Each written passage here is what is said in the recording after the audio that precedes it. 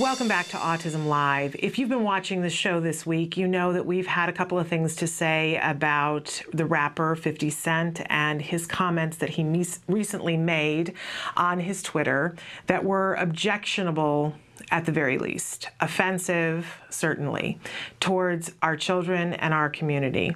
We shared with you the comments that he made on that site. We shared with you the wonderful words of Holly Robinson Peete, an awesome autism mom, and her call to ask him to please refrain from making such comments. She was so eloquent and wonderful.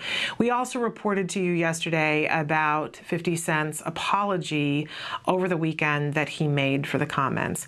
And I know in the last 40, 48 hours or so, many of you have commented and said, gee, you know, this apology doesn't ring entirely sincere, and that it doesn't seem like enough in light of what happened, that Mr. 50 Cent is somebody who has arguably at least 8 million followers, and that to have such a voice and to have used it in such a way that the apology doesn't seem quite enough. And I can only imagine, I, I know that uh, 50 Cent celebrated his 37th birthday that he might be asking himself, well, what exactly do I need to do for people to feel that I'm sincere? Well, I'd like to offer a suggestion that sometimes people don't feel that an apology is sincere unless you literally put your money where your mouth is.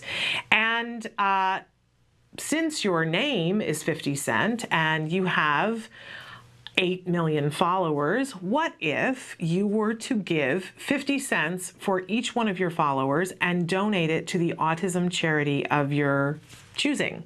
That would mean a cool $4 million, right?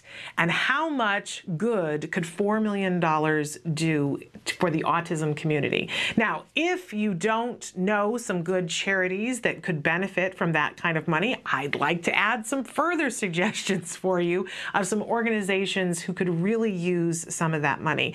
Of course, we can start with the HollyRod Foundation, which Holly and Rodney Peete began that helps so many families get services that they might otherwise not be able to afford. That's a wonderful organization.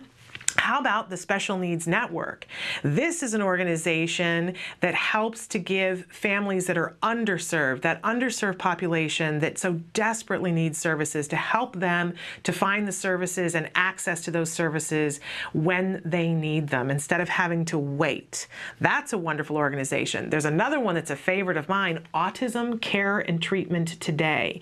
They're a wonderful organization that gives grants to families for the kinds of things they need, whether they need a fence for a child that elopes, or whether they need help in paying for uh, getting a diagnosis, or how about funding to bridge the gap between their insurance copay or their deductible so that they can get those services that are now available to them. That's a wonderful organization.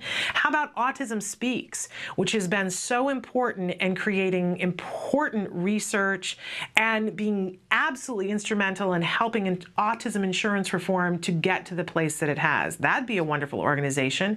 Or hey, because you're an artist, how about giving some funding to the Art of Autism? This is a wonderful organization that helps writers, helps performers, helps artists, helps filmmakers who are on the autism spectrum to get access to the materials and teachers they need so they can hone their craft. That would be a great thing. All of those organizations could benefit from some money, $4 million. You could split it up amongst them, or there are hundreds, literally hundreds of other organizations that could really use your support. But hey, that's just my opinion. What do I know? I'm just an autism mom. I'm the mom of a young man who, by the way, likes music and has an autism spectrum diagnosis, excuse me. And he is someone who has plans to be a rocket engineer because uh, he wants to study the mysteries of man in the cosmos. By the way, his nine year old words, not mine. He's a wonderful kid, Mr. 50 Cent. There's a lot of wonderful, wonderful children on the autism spectrum, and they're counting on you to do the right thing. I hope you will. And that, my friends, is how Shannon sees it. Stay tuned for more Autism Live when we come back after these messages.